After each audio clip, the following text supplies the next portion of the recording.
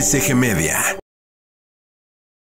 Más de 6.000 trabajadores sindicalizados y de confianza se van a beneficiar con el incremento del 3.4%.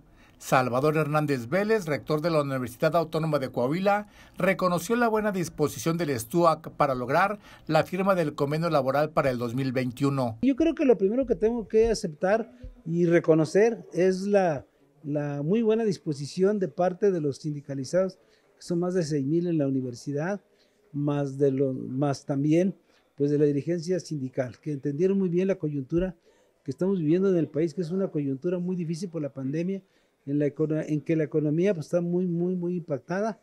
Y bueno, este, en el marco de las negociaciones que tienen que hacerse con base en el acuerdo que haya tenido la UNAM, porque así lo establece el propio contrato colectivo de trabajo, se aceptó y negociamos un incremento salarial de 3.4%. El rector de la Casa de Estudios de Coahuila señaló que el aumento aplica a la prima de antigüedad como una prestación que se ofrece al personal.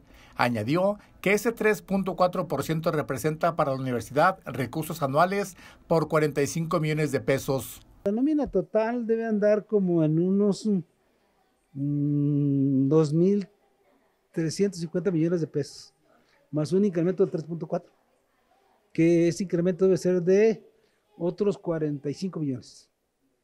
Para la universidad no representaría ya problemas. Porque, no, porque no solamente es el incremento a los trabajadores sindicalizados, que es lo que firmamos ayer, sino que siempre se acostumbra que también a todos los demás que no son sindicalizados también se les aplica el mismo porcentaje. Y en esto... Con imágenes de Gerardo López para RCG Media 24-7, Eduardo Hernández.